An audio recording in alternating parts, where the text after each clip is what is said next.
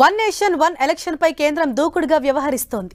Committee అధ్యక్షుడు మాజీ రాష్ట్రపతి రామ్నాథ్ కోవింద్తో అమిత్ షా అర్జున్ మేఘవాల్ సమావేశమయ్యారు. అరగంట పాటు వీరి సమావేశం సాగింది. వన్ నేషన్ వన్ ఎలక్షన్ పై కమిటీని ఏర్పాటు చేసిన తర్వాత రామ్నాథ్ కోవింద్తో మర్యాదపూర్వకంగా భేటీ అయ్యారు. వన్ నేషన్ వన్ ఎలక్షన్ పై సాధ్యాసాధ్యాలపై అధ్యయనం చేయాలని వెంటనే పని ప్రారంభించాలని మాజీ రాష్ట్రపతి కమిటీ అధ్యక్షుడు రామ్నాథ్ కోవింద్ను కేంద్ర మంత్రులు కోరినట్లు సమాచారం. ఇదే మరింత సమాచారంతో మా ప్రతినిధి గోపీకృష్ణ మనకు అందుబాటులో ఉన్నారు. Gopi.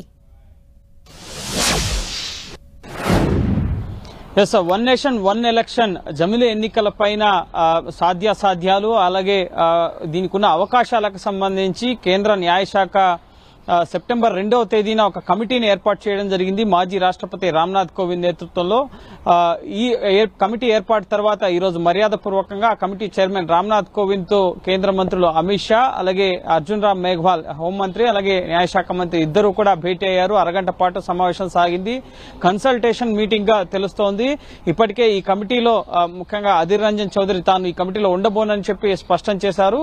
అయితే వెంటనే కమిటీ పని ప్రారంభించే విధంగా ముఖ్యంగా ముఖ్యంగా త్వరితగతిన దీనికి మూడేళ్ళ కాలపరిమితి కూడా ఉన్నట్లుగా తెలుస్తోంది సో వెంటనే కాలపరిమి ముఖ్యంగా జమిలీ ఎన్నికల నిర్వహణకు సంబంధించిన అవకాశాలు అలాగే ఎదురయ్యే సవాళ్ళు అలాగే రాజ్యాంగ పరంగా చేయాల్సిన సవరణలు people representation act. Nineteen fifty fifty వన్కి చేయాల్సిన సవరణలు అలాగే ముఖ్యంగా హంగ్ అసెంబ్లీ ఏర్పడితే లేకపోతే ముఖ్యంగా ప్రభుత్వాలు కూలిపోతే ఆ తర్వాత ఎటువంటి పరిణామాలు ఉంటాయి వీటన్నిటికి సంబంధించిన అంశాలు త్వరితగతిన అధ్యయనం చేసి నివేదిక ఇవ్వాలని చెప్పి త్వరగా పని ప్రారంభించాలని చెప్పి రామ్నాథ్ కోవింద్ ఈ కేంద్ర మంత్రులు ఇద్దరు కోరినట్లుగా సమాచారం. ఈ రోజు జరిగిన భేటీ మాత్రం. మర్యాదపూర్వక భేటీగానే తెలుస్తోంది. Right thank you Gopi